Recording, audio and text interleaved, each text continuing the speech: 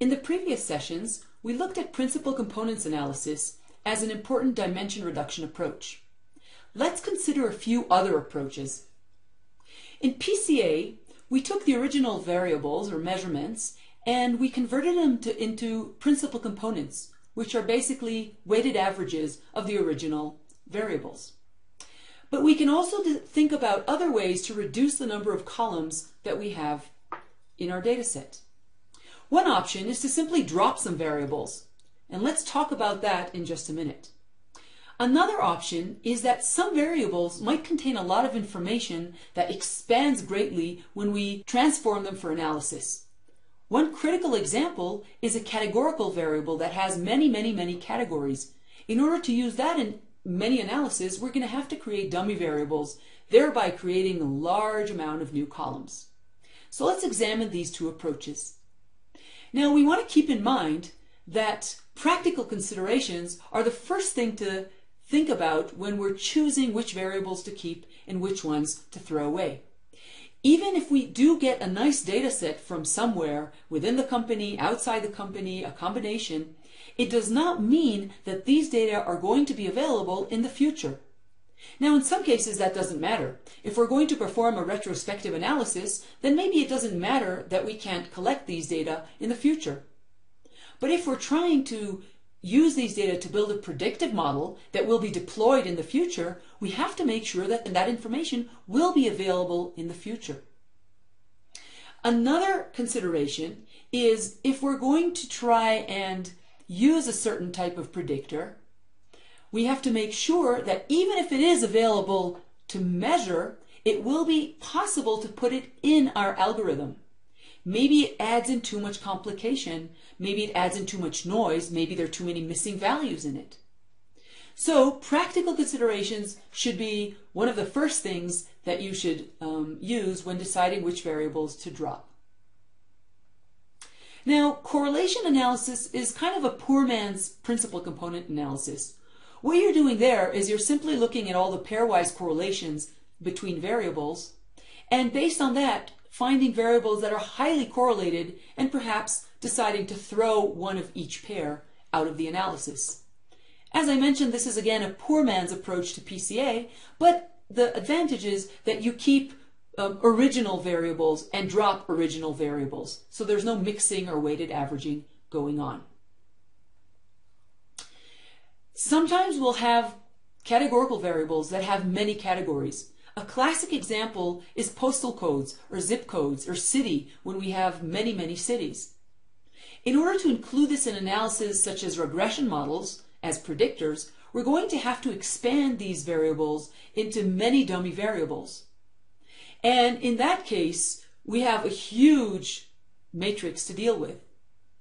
There is a trick to try and reduce this problem by merging similar categories. So for instance, if we're looking at postal codes, we might instead look at certain regions and say we're looking at four regions in the countries. Now, how do we determine what is similar? That depends on the data mining task. If we're in a supervised learning task where we have an output and a set of inputs, and one of our inputs is, say, postcode, then we're going to want to merge postal codes that are similar in terms of their output behavior.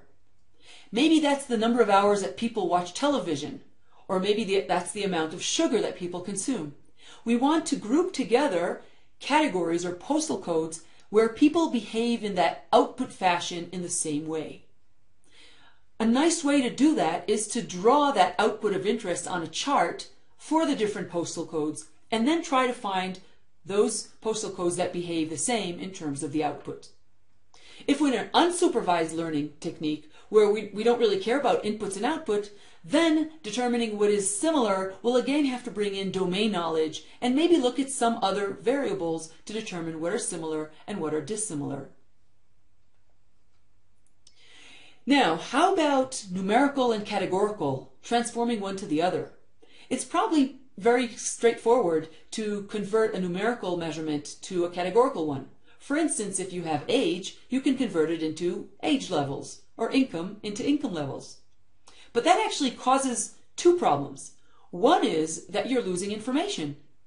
If I had originally age in years and now I have just five age groups, then of course the age groups are less informative. The other problem is again that I'm creating a categorical variable with five categories, which means I'm going to need four dummies. So don't move very quickly from numerical to categorical variables unless there's some really good reason to do that. Now let's think of the other direction. How about if I have age groups and I want to move back to a numerical age because that would solve the whole problem of many dummies? It seems almost impossible, doesn't it?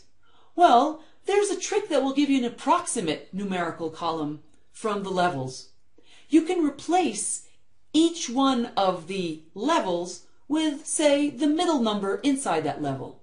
If we have an age group of 10 to 20, 20 to 30, 30 to 40, and so on, every person that falls in the 10 to 20 group will obtain an age of 15, which is the middle of that interval.